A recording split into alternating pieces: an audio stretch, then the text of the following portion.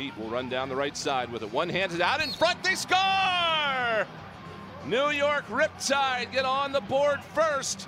Pretty feed from Jeff Teat out in front, and Connor Kearnan makes it 1 0. Power play, though, so they are dangerous with that extra attacker. First bid knocked away by Higgins. The re rebound goes to the Riptide, though, and they bury the second possession. Power play goal for the Riptide. That was a shooting gallery for a little bit there.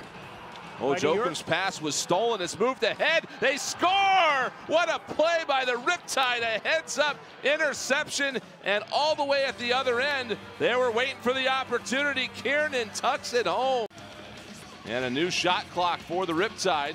They're going to change up the personnel just a bit.